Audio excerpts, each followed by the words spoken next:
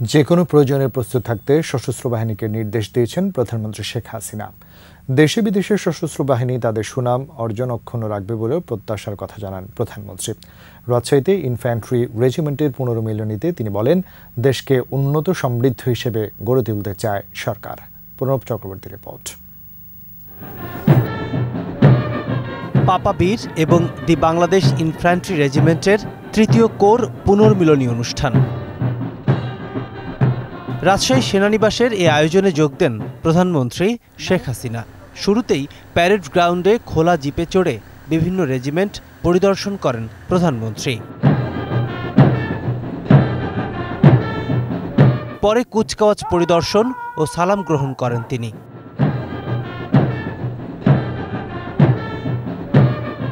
বক্তৃতায় প্রধানমন্ত্রী বলেন, দেশে বিদেশে সশস্ত্র বাহিনী যে সুনাম অর্জন করেছে তা অক্ষুণ্ণ থাকবে বলে আশা করে সরকার। সশস্ত্র বাহিনী এখন, আমি মনে করি, শুধু দেশে না, আন্তর্জাতিক পর্যায়ে জাতিসংঘ শান্তিরক্ষা মিশনেও তারা অবদান রেখে দেশের জন্য সুনাম বয়ে আনছেন। আধুনিক প্রযুক্তি জ্ঞান সম্পন্ন আমরা সশস্ত্র বাহিনী গড়ে তোলার পদক্ষেপ হাতে নিয়েছি। কাজে আমরা চাই আমাদের এই সশস্ত্র বাহিনী দেশের যে কোনো পরিস্থিতিতে মোকাবেলা করার উপযুক্ত হয়ে গড়ে তুলবে। এভাবেই আমরা সকলে এক হয়ে আমাদের দেশটাকে গড়ে তুলব সামনের দিকে এগিয়ে নিয়ে যাব এটাই আমাদের লক্ষ্য।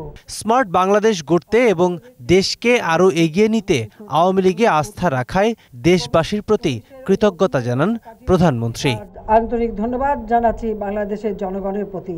বারবার ভোট দিয়ে তারা আমাদেরকে সেবা করার সুযোগ দিয়েছে বলেই আজকে দেশকে আমরা উন্নয়নের পথে এগিয়ে নিয়ে যাচ্ছি। প্রতিটি পরিবারই সুন্দরভাবে জীবন বাঁচাবে। প্রতিটি পরিবারে আমরা বিদ্যুৎ পৌঁছে দিয়েছি, রাস্তাঘাটের পুল, ব্রিজ সব কিছু উন্নতি করে দিচ্ছি। দেশ এই অগ্রযাত্রা অব্যাহত রেখেই আমরা একচল্লিশে স্মার্ট বাংলাদেশ গড়ে তুলব।